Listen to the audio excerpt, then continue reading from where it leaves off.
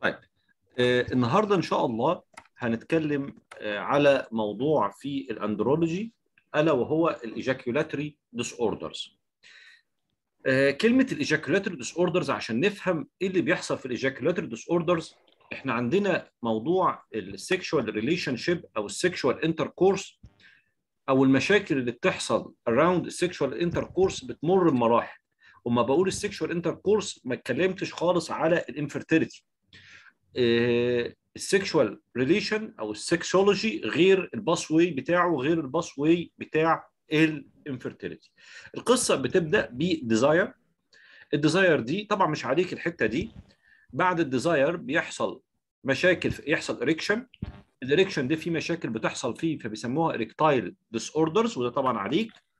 بعد ما بيحصل erection خلاص ال sequence بيخلص بتاع ال erection يبتدي يحصل orgasm followed by ejaculation هي ده ال sequence بتاع ال sexual intercourse مرورا بيه إن ممكن العيان أو الشخص العادي يشتكي من painful disorders during ال process دهيت وبرضو دي مش عليك. طيب أنا عايز أقول إيه ال ejaculatory disorders اللي أنت مطالب بيها؟ قبل ما اتكلم على ال ejaculatory disorders اللي انت حضرتك مطالب بيها مطلوب منك تعرف يعني إيه ejaculation وأنا قلت لك ان ال process desire بعديها بيحصل erection بعد كده يحصل orgasm وبعد كده يحصل ejaculation يبقى بالتالي إيه الفرق ما بين ال orgasm وايه الفرق بين ال ejaculation وهل هما الاثنين حاجة واحدة؟ ولا حاجتين مختلفين؟ الاثنين حاجتين مختلفين. وده بيحصل له أمراض وده بيحصل له أمراض. ببساطة شديدة كلمة ejaculation it is an act. It is an act. يعني إيه؟ ال act اللي هو expulsion of the semen. Expulsion of the semen from the male urethra طب أما إيه هو ال orgasm؟ ال orgasm هو ال sense of pleasure إحساس بالنشوة. أو إحساس ال pleasure اللي موجود. فبالتالي ال orgasm الشخص بيحس بال orgasm followed على طول بال ejaculation. في أمراض بتحصل في ال ejaculation فبنسميها ال ejaculatory disorders وفي مشاكل بتحصل في ال orgasm بتحصل وتؤدي إلى إيه؟ orgasmic disorders لا by way حاجة مش عليكم بس أنا هقولها لكم by way للاستفادة بس. اللي هي كلمة spontaneous ejaculation وحاجة اسمها ال ejaculatory force اسمها الكلا... سيبنا من ال climacturia ال spontaneous ejaculation حضراتكم مثلا أو إحنا كأشخاص عندنا stress زي ال female كده وقت امتحان بتفكر في حاجة وأنت قاعد ممكن يحصل لك spontaneous ejaculation without any sexual stimuli. ودي ليها أسباب كتيرة. أما إيه قصة ال ejaculatory force دي؟ ال ejaculatory force كده بالبلدي هي قوة ال ejaculation قوة ال ejaculation وقت الانت وقت ال ejaculation طيب القوة دي بتختلف. شاب صغير شاب أكبر سنا أو راجل كبير في السن كل ما بيكبر في السن قوة كل ما قوة ال ejaculatory force بتقل بتاعته. طيب. السؤال الثاني اللي أنت مهم تبقى عارفه في ال ejaculatory disorders ما هي ال organs ما هي أنا بحاول أفهمك. احفظ من أي حتة بقى.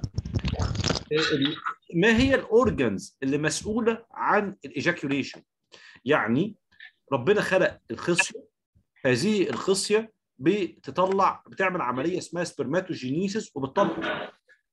هذه ال sperms بتيجي تستخبى دي ال testis اهي هذه ال sperms اللي بتتكون بتيجي تستريح في حاجة اسمها ال epididymis اللي هو ال vas أو القنوات ال epididymis ده بيحصل فيه maturation لل sperms اللي اتكونت وبالإضافة كمان بتبقى storage مخزن للحيوانات المنوية. الراجل قرر إن هو يعمل sexual intercourse أو خلاص هيحصل مثلا بيعمل masturbation في المرحلة دي هيحصل إيه بقى؟ هيبتدي ال sperms تبتدي تطلع من ال epididymis دهوت وتمشي في الأنبوبة دي. الأنبوبة دي بيسموها ال vas deferens وبعد كده تمشي جوه ال تروح للبروستات وتروح لل seminal vesicles وبعد كده تطلع من ال urethra طيب بمرور المراحل دي بمرور المراحل دي ال sperms دي عبارة عن solid أو عبارة عن cells طول ما ال sperms ماشية في ال epididym في ال vas deferens وفي ال ejaculatory duct وفي ال seminal vesicles كل حتة من ال organs دول بتديها شوية fluid تديها شوية fluid. عشان كده أول ما بيطلع بتلاقي فيه fluid نازل مع ال sperms عشان كده يقول لك في حاجة اسمها seminal fluid وفي حاجة اسمها sperms تيجي مثلا ما حد يشرح لكم ال infertility إن شاء الله هيقول لك عيان عنده azoospermia كلمة azoospermia معناه إن هذا الشخص بينزل seminal fluid بيعمل ejaculation كويس خالص وبينزل seminal fluid لكن تيجي تبص على ال sperms مش ملاقيها. يبقى هو بينزل sper- seminal fluids عادي لكن ما فيهاش sperms في term تاني وده في ال definitions المهمة بالنسبة لكم حاجة اسمها aspermia ال aspermia بقى إيه؟ تيجي إن هذا الرجل يجي يقول لك لا أنا بنزل seminal fluid ناشفة خالص. بالبلدي بتبقى ناشفة خالص. ودي مشكلتها بالبلدي في مفهومها إيه؟ إن ال fluids اللي بيكتسبها ال sperms وهي ماشية في طريقها سواء من ال seminal vesicles أو من ال ejaculatory ducts أو من ال vas deferens أو من البروستات مش موجودة ما بتكتسبش fluids. فبالتالي يقول لك أنا ما بنزلش أي semen نهائي. يبقى ده الفرق بين كلمة aspermia إن العيان ده. ما بينزلش حاجة خالص. أما يجي يقول لك azoospermia بينزل fluids ولكن ما فيهاش sperms يبقى ده كانت المهمة المقدمة الأولانية اللي هي قصة how to differentiate أو ال definitions بتاعه ال ejaculation وال orgasm in summary ال ejaculation زي ما قلت it is an act اللي هو forcible expulsion of the semen and the أو seminal fluid through these organs اللي إحنا قلناها عشان يطلع من ال urethra أما ال orgasm دي sense of pleasure إحساس ال pleasure بتاع الموضوع. طيب.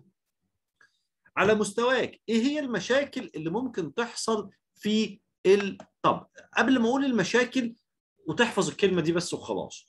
ال ejaculation عشان يحصل هو balance ما بين مادتين دوبامين وسيروتونين. دوبامين وسيروتونين. الدوبامين يزيد يخلي الراجل ده يخش في إيه؟ ejaculation سريع. الدوبامين يقل يأخره. السيروتونين يزيد يأخر ال ejaculation السيروتونين يقل يخلي ال ejaculation يحصل بسرعة. by the way ال ejaculation balance ما بين الدوبامين and serotonin just this term تحفظ بس ال balance ما بين الاثنين مش مطالب بحاجة أكتر من كده على مستواك. طيب. إيه هي المشاكل اللي ممكن تحصل في ال ejaculatory disorders يعني إحنا قلنا إن أنا عندي في ejaculatory problems وعندي في حاجة اسمها orgasmic problems عشان الاثنين مختلفين. إيه اللي ممكن يحصل في ال ejaculation by the way كل الحاجات دي مش عليك ولكن عندك حاجة واحدة أو اتنين هم المهمين. إيه هم اللي عليك؟ أول حاجة الراجل ده يقول لك حاجة اسمها altered time and control. يعني يقول لك إيه؟ أنا بعمل ejaculation بدري ما بلحقش أستمتع. فبالتالي ده بيسموه premature ejaculation يجي واحد تاني يقول لك لا ده أنا ممكن أقعد نص ساعة وربع ساعة قبل ما أجيب ejaculation فده بيسموه delayed ejaculation delayed يبقى في premature ejaculation وفي delayed ejaculation في واحد تاني يقول لك إيه؟ أنا ما عنديش اللي هو ال aspermia اللي إحنا اتكلمنا عنه. فده بيسموه anejaculation أو aspermia واحد تاني يجي يقول لك إيه؟ أنا بحس إن كمية ال seminal fluids اللي بتنزل مني قليلة. قليلة. يعني المفروض يبقى في volume معين لكل سن لا ال volume ده أنا حاسه قليل. وحتى لما أجي اعمل له seminal analysis ألاقي ال volume قليل بتاع ال semen فده بيسموه retrograde ejaculation يعني إيه؟ قذف مرتجع. قذف مرتجع. طب بيرجع فين؟ بيرجع على ال urinary bladder يعني بدل ما ال semen يطلع يخش في ال vas deferens يخش في يمشي على ال seminal vesicles والبروستات ويطلع من ال urethra لا. ده بي إيه؟ يفضل ماشي ماشي ماشي لغاية ما يلاقي ال bladder مفتوحة يروح داخل فيها. طب هي مفتوحة طبيعي؟ لا. ده العيان ده غالبا بيبقى عنده congenital abnormalities في ال bladder neck فبالتالي ال semen بيلاقي ال bladder neck مفتوحة فيروح داخل مكانها. ده في ال direction ال volume مشاكل ال ejaculation طبعا مش عليك ولكن يجي يقول لك العيان بيقول لك إيه؟ أنا حاسس إن ال flow بتاعي قليل. ال force اللي هو اللي إحنا اتكلمنا عليه وهي موضوع ال ejaculatory force اللي هو قوة أو ال ejaculatory vigor اللي هو قوة الإيه؟ ال ejaculation واحد يقول لك إيه؟ أنا بحس إن ال forcible أو قوة ال ejaculation بتاعي ضعيف. ضعيف مش قوي زي زمان. طبعا ده ليه أسباب كتيرة. يكون عنده chronic disease عنده old age عنده مشاكل في ال pelvic floor muscles عنده diabetes عنده عنده الكلام ده كله. أو أخيرا في ال ejaculatory disorders واحد يقول لك إيه؟ أنا بحس لما باجي أعمل ejaculation ال penis بتاعي بيحرقني. وده غالبا بيبقى إما سببه غالبا infection بيبقى غالبا سببه infection ليه أسباب كتيرة قوي زي ال stone زي زي زي الكلام ده كله ولكن غالبا بيبقى سببه ال infection في الأساس. طيب سريعا كده بقى إيه اللي أنت مطالب بيه؟ يعني أنا حاولت أحط لك ال schema بتاعه ال ejaculatory disorders طيب أول موضوع يمكن هو المهم بالنسبة لك هو ال retrograde ejaculation هم أو قصدي ال delayed ejaculation هم دول المهمين. إيه كلمة ال premature ejaculation ال premature ejaculation معناها إن the patient the patient ejaculate before his wishes. يعني إيه بالبلدي يعني هو أول ما بيعمل ejaculation اول ما بيعمل intercourse يروح عامل ejaculation على طول. طيب هل المشكلة دي يبقى اذا هو ال premature ejaculation يقول لك إيه؟ the the male ejaculate before his wishes. يعني قبل ما يكون عايز. دي أول معلومة. المعلومة الثانية قال لك في ناس عرفته وقالت لك إيه؟ إن ال partner satisfaction إن ال wife بتاعته نسبة استجابتها بال sexual intercourse أو ال enjoyment بال sexual intercourse 50% لو افترضنا إن الراجل ده بيعمل sexual intercourse 10 في الشهر تقول لك إيه مرة ولا اثنين اتبسطت. ولكن في معظم الأحيان ما بتبسطش. بس ال sexual satisfaction ال partner بتاعته مش كويسة. أو يجي يقول لك إيه تعريف تاني لل premature ejaculation الطبيعي إن الراجل مع ال intromission of the penis into the vagina بيحصل إيه؟ قال لك في number of thrust اللي هي ال fro and through movement during ال intercourse. قال لك الطبيعي ده الطبيعي إن الراجل لما بيعمل intromission جوه ال vagina المفروض يعمل 15 thrust 15 intromission يعني طالع ونازل طالع ونازل 15 مرة فأكثر. لو عمل أقل من العدد ده يبقى في الحالة دي أصنفه premature ejaculation يبقى في تعريفات مختلفة لل premature ejaculation in summary واحد ejaculation before the man's wish ال partner satisfaction أقل من 50% ال number of thrust أقل من 15 thrust في الوقت. في ناس تانية قالت لأ. طب أنا أنا هوجع دماغي بإيه كده؟ قال لك لو الراجل during ال intromission قعد أقل من دقيقة عمل intromission لل penis جوه ال vagina أقل من دقيقة أصنفه premature ejaculation لو أكتر من دقيقة يبقى ده كويس. في ناس قالت لك بحساب المدة. طيب ده ال definition بتاع ال premature ejaculation طب إيه أسباب ال premature ejaculation causes of premature ejaculation by the way على مستواك أنت في الأسباب of premature ejaculation هم أربع أنواع ولكن على مستواك أنت ليك نوعين. النوع الأولاني بيسموه primary premature ejaculation النوع الثاني اسمه secondary premature ejaculation ال primary ده اللي هو بيسموه ال lifelong أو ال cong أو من أول هنقول أو ال acquired اللي هو اكتسبه بعد كده. يعني إيه ال lifelong أو ال primary يقول لك إن الراجل بلغ عند 14 سنة أول ما اتجوز من أول مرة ما بيتجوز بيحصل له premature ejaculation يبقى ده من أول sexual intercourse عنده premature ejaculation فده بيسموه ال lifelong أو ال primary وده غالبا غالبا بيبقى سببه سببه حاجة اسمها ال penile hypersensitivity إن ال penis بتاعه ال skin بتاعه hypersensitive مليان receptor بزيادة أول ما touch ال female genitalia يعمل ejaculation في أسباب تانية كتيرة قوي. آه في أسباب تانية كتيرة بس كفاية عليك السبب ده هو. طيب ال acquired premature ejaculation لا يقول لك أنا متجوز بقالي 10 سنين أو خمس سنين فجأة لقيتني كنت كويس زي الفل وفجأة لقيت إن أنا بقى عندي premature ejaculation طيب في الحالة دي تصنيف هذا الرجل نصنفه إيه؟ نصنف هذا الرجل إن هو عنده acquired أو secondary premature ejaculation. طيب يبقى بالتالي هو كان كويس وما بقاش كويس، غالبا هذا العيان يكون عنده infection. يعني غالبا يكون عنده حصل infection في البروستات في البروستات في ال seminal vesicles في أي organs من ال organs بتاعت ال male genital organs هي اللي خلته يحصل له secondary premature ejaculation. طيب بالتالي كده بالتالي إن أنا عشان بعيدا عن العلاجات لو ال acquired premature ejaculation treatment of the cause يبقى acquired أو ال secondary اعالج السبب. أما ال lifelong لا. ده قال لك penile hypersensitivity طيب أنا عشان أحسن ال penile hypersensitivity أعمل له إيه؟ على مستواك. ممكن أقول له إيه؟ ألبس condoms ألبس male condom فبالتالي ال contact بينه وبين ال female genitalia هيقل.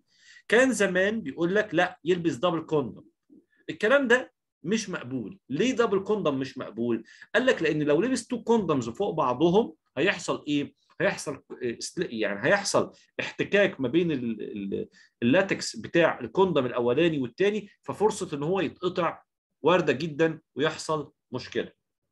حلو. طيب يبقى دي أول حاجة إن أنا أديله ألبسه condom في حل تاني قال لك إيه قال لك لا ال condom مش مقبول شوية ما بيحبش يلبس ال condom الراجل ده ولا الكلام ده كله قال لك فخلاص فأنا مضطر إن أنا اديله حاجة اسمها topical anesthesia زي الليدوكين رش أو دهان بدهنه على أدهنه فين؟ أدهنه في ال most sensitive area في ال penis طب مين هي ال most sensitive area في ال penis؟ ال glans penis اللي هي الراس بتاعه ال penis وفي حتة جلدة كده تحت ال penis بيسموها ال frenulum هم دول ال most sensitive area فبالتالي أدهنهم في المكان ده هوت وبعد كده يعمل لهم washing أو يمسحهم بحاجة بسيطة قوي قبل ال intercourse ب 10 دقائق ولا حاجة بحيث إن هو إيه ما يخشش في ال intromission في ال vagina والست كمان يحصل لها anesthesia وهي كمان ما بتحسش. طبعا في أدوية كتيرة جدا في ال lifelong أو ال primary premature ejaculation وفي أدوية كتيرة جدا لل acquired بعد ما بن إيه بنعالج السبب. من أهم الأدوية عشان ما تقروها في الكتب إحنا قلنا إن ال two neurotransmitters مسؤولين عن ال ejaculation مين هم؟ الدوبامين والسيروتونين. قلنا الدوبامين لو زاد الدوبامين لو زاد هيخلي العيان ده عنده premature ejaculation السيروتونين لو زاد هيقلل ال premature ejaculation أو هي delay ال ejaculation في الحالة دي إيه؟ أنا محتاج إن أنا أقلل له مستوى الدوبامين وأزود له مستوى السيروتونين من غير ما أحفظ. طيب هعمل الكلام ده كله إزاي؟ بأدوية بيسموها selective serotonin reuptake inhibitors selective serotonin reuptake inhibitors إيه هي ال selective serotonin reuptake inhibitors دي؟ دي أدوية بتشتغل إن هي تحافظ على مستوى السيروتونين اللي موجود جوه ال brain بحيث تخلي العيان ده يحصل له delayed ejaculation أو يأخر ال ejaculation تمام؟ طيب في حلول تانية آه في حلول تانية كتيرة جدا لل premature ejaculation سواء surgical أو سواء دلوقتي بنحقن بوتوكس و filler فيها وبتحسن الأمور. طيب عشان الناس اللي اللي فاتتها ال premature ejaculation قلنا ال definition بتاعه. اثنين قلنا الأسباب بتاعته وانواعه في primary و secondary ال primary قلنا أهم سبب بيه إن هو الراجل ده أول ما اتولد أول ما من أول sexual دكتور. أيوه يا فندم. معلش ممكن حضرتك تعيد الحتة بتاعت آه، بنقلل الدوبامين وبنزود السيروتونين؟ والله ما أنا بعيد أهو والله ما أنا بعيد طيب أنا أصل النت هنج عندي بس بعيد معلش والله أنا آسف. بعيد بعيد. شكرا دكتور. أول حاجة ال definition فقلنا اللي هو before ال man wishes أو ال number of thrusts أو ال stop watch اللي هو أقل من دقيقة. قلنا الأنواع الثانية اللي هو primary و secondary ال primary من أول ما ال sexual relationship حصل له المشكلة أما ال secondary فيه سبب. طيب جينا قلنا ال primary مش هينفع معاه أدوية قوي لأن هي المشكلة بتبقى penile hypersensitivity أو فغالبا لو اديته دواء مش هيستجيب لأن السبب غالبا بيبقى local فقلنا ممكن نعالجه بال condoms أو نعالجه بال topical anesthetic products طيب بالنسبة لل secondary ال secondary ده هعالج السبب وممكن أديله بعض الأدوية زي ال selective serotonin reuptake inhibitors يعني إيه selective serotonin reuptake inhibitors إحنا قلنا إن أنا عندي دوبامين والسيروتونين السيروت... الدوبامين وجوده بزيادة هيخلي العيان trigger ال ejaculation يعني يخلي ال ejaculation يحصل بسرعة. أما السيروتونين وجوده بزيادة هيخلي العيان يتأخر في ال ejaculation فبالتالي أنا محتاج إن أنا أخر ال ejaculation فبالتالي عايز أزود له معدل السيروتونين في ال- ال brain فبالتالي هديله selective serotonin reuptake inhibitors تحافظ على مستوى السيروتونين جوه الجسم أو جوه ال brain عشان to delay ال ejaculation ده بالنسبة لل premature ejaculation وما أنت مطالب به في الامتحان. طيب تاني موضوع مهم يمكن في سمعت يا دكتور. مم. هو في حاجة اسمها therapy اللي هو حاجة اسمها squeeze technique ما هو بص آه في آه، حاجة اسمها ال behavior therapy اللي هي قصة ال squeeze technique وال start stop technique دي يعني إن إحنا في ناس بتقول لك اعملها. ال start stop technique هي قصتها ببساطة شديدة جدا إيه؟ يجي يقول لك تخلي ال wife بتاعته تعمل له manual stimulation لل penis وأول ما يحس إن هو هيعمل ejaculation يقول لها أقفي ما تكمليش. وبال training ممكن يتحسن. طيب دي حاجة. اما إيه موضوع ال squeeze technique ال squeeze technique تقريبا زيه زي ال start stop technique إن مراته برضه أو ال partner بتاعته هتعمل له manual stimulation لل penis وأول ما يحس إن في ejaculation هتقول له وقف. هيقول لها وقفي. بس هيزود عليها إيه؟ إن الست هتعمل squeeze تمسك ال glans penis وتمسك ناحية root of the penis بإيديها واحدة من تحت وواحدة من فوق في محاولة إن هي تمنع إن ال ejaculation يطلع لبره. ده الفرق ما بينهم. يمكن بتنفع في بعض الناس وما بتنفعش في بعض الناس. محتاجة ناس educated شوية عشان يقتنعوا ويعملوا الحاجات دهيت. ولكن في كتير جدا يقول لك أنا مش هخ... يعني لا ما تعمليش الكلام ده كله واديني دواء وخلاص. طيب. ده يا دكتور للسكندري بس ولا للاثنين؟ اللي هو السيرم. للاثنين للاثنين تمام. طيب. الموضوع الثاني وهو بس كفاية كده عليكم اللي هو ال premature وال delayed ejaculation الموضوع الثاني اللي هو ال delayed ejaculation إيه ال delayed ejaculation ده؟ ده إحنا ال premature ejaculation إحنا قلنا إن هذا العيان بيعمل ejaculation before his wishes قبل ما يبقى عايز يعمله. ال delayed ejaculation عكسه. عكسه إيه؟ الراجل عنده desire كويسة قوي. مش إحنا قلنا ال sequence عنده desire كويسة قوي. عنده erection زي الفل. ويجي يعمل ejaculation وعنده ال orgasm كويس. يجي يعمل ejaculation مش عارف. فيزهق. فيسيب ال wife بتاعته ويطلع بره ال vagina وال penis بتاعه erected شوية يعمل له ال penis خلاص أو ال sexual circumstances أو ال situations انتهت يبتدي ال penis بتاعه يحصل له detumescence يحس إن هو عايز يخش الحمام يجي يخش الحمام تلاقيه عمل ejaculation أو ال urine بتاعه بقى فيه ejaculation ده بيسموه ال delayed ejaculation طيب أنا أبتدي أقول إن العيان ده عنده delayed ejaculation إمتى؟ قال لك لو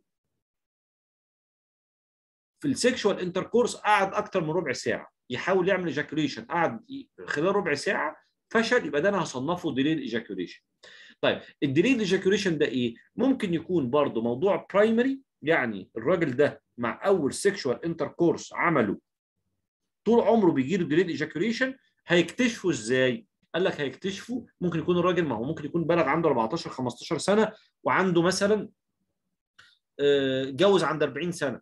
طيب قال لك بيعمل masturbation مش عارف يعمل ejaculation أول ما يزهق ويعمل تلاقيه نزل ال ejaculation يبقى ممكن يكون مع ال masturbatory technique أو مع ال marriage. ده ال primary ال secondary لا. يجي يقول لك أنا كنت كويس شوية ما بقتش بقتش كويس. يعني كنت كويس خالص ما بقتش كويس. تمام؟ في ناس تانية تقسم لك ال secondary إلى generalized و situational يعني إيه generalized generalized معلش الراجل ده متجوز أربعة. الراجل ده متجوز أربعة مع الأربعة بيحصل نفس المشكلة. يبقى ده اسمها generalized خلاص؟ وفي الحالة دي يبقى هو عنده مشكلة ولازم تتعالج. ال situational مثلا إيه متجوز أربعة بتحصل مع واحدة والباقيين زي الفل. يبقى هو الراجل ده في مشكلة عنده بينه وبين مراته ممكن تكون غالبا psychological problems بينها بينه وبين ال wife ده هي. يبقى ده ممكن تكون generalized أو situational طيب هل ال situational دي بس؟ لأ. راجل يعني بيحب يلعب بديله شوية. تمام؟ فشاف واحدة ولا بتاع فقال لك أعمل intercourse معاها. خايف إن الست دي تنقل له مرض جنسي.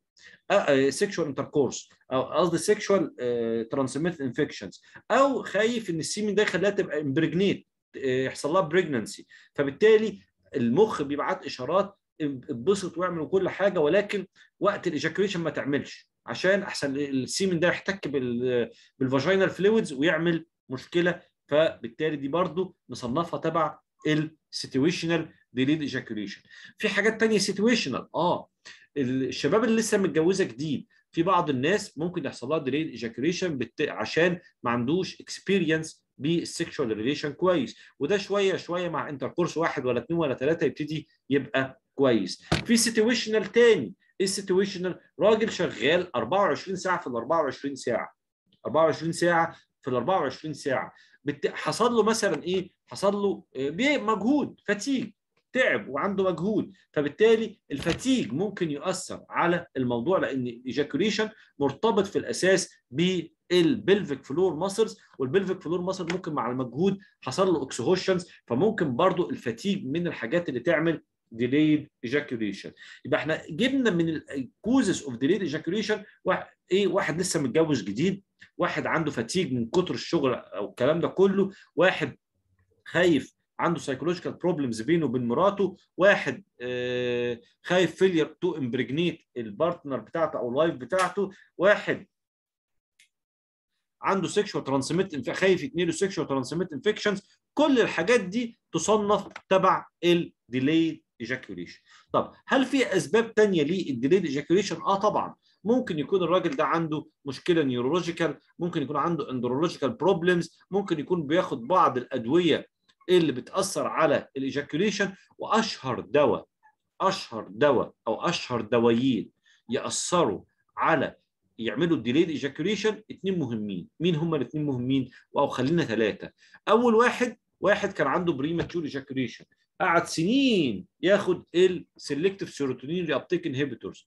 عمال يعمل delay delay delay لغاية ما بقى في مشكلة في ال delayed ejaculation تاني واحد من الحاجات اللي ممكن تعمل delayed ejaculation الترامادول. الأدوية اللي بتتاخد الناس بتاخد عشان تسهر ولا بتاع ولا الكلام ده كله تعتبر برضو من الحاجات اللي ممكن تعمل delayed ejaculation ثالث حاجة من الحاجات اللي ممكن تعمل delayed ejaculation الناس اللي بتاخد أدوية ال anti اسمها ال antidepressant والحاجات دي كلها برضو ممكن تعمل delayed ejaculation طبعا في ال psychological اللي إحنا قلنا item first relation لسه متجوز عنده مشاكل بينه وبين مراته fear of pregnancy و childhood أو تعرض لحاجه وهو صغير فنتج عنها مشكلة ما. طيب ال treatment of premature ejaculation طبعا أنا هعمل investigation to exclude ال cause. طب أعالجه إزاي؟ صراحة ال delayed ejaculation من الحاجات اللي علاجاتها غلسة شوية. طبعا أنا ه exclude ال physiological factors أو ال psychological factors أو ال cause بصفة عامة هحاول أعالجه. لكن قالوا إن ممكن الموضوع ده يتحسن. في ناس ممكن تاخد تستوستيرون الوضع يتحسن شوية. في ناس بعض ممكن تاخد حاجة اسمها زي ال cabergoline يتحسن.